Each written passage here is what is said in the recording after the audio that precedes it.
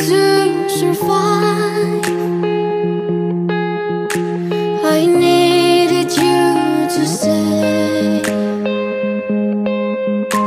I let you dream.